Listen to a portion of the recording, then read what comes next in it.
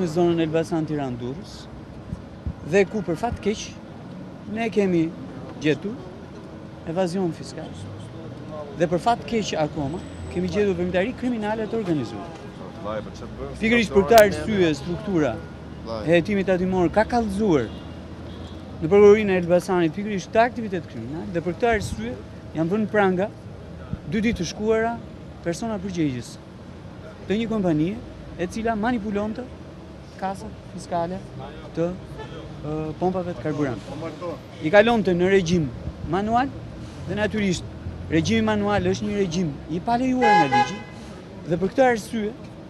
ne jemi rikthyer në tregun e karburantit duke filluar nga shumica tek shahat